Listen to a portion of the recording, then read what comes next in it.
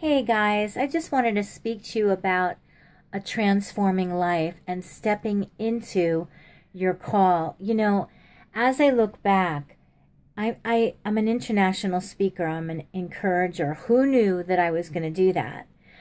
But, and we ask, well, how do we know what to do and what's going to happen if we can just live out our call every day?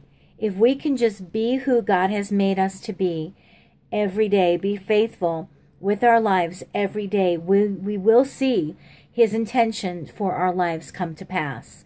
Because I had no idea that he was going to bring me home to Israel and then shoot me out like a rocket to the nations. I had no idea that I had the gift of encouragement. People had told me many years ago, and I was like, no, no, no, I have the gift of dance. But I, what I see is that God put them both together. Hallelujah. And it is in giving that we receive because when I encourage others, it really, really helps me as well.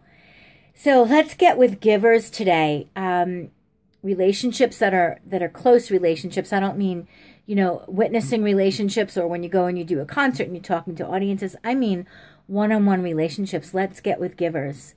Because if we're both givers, then we'll both get our needs met. So God bless you in Yeshua's name. Amen.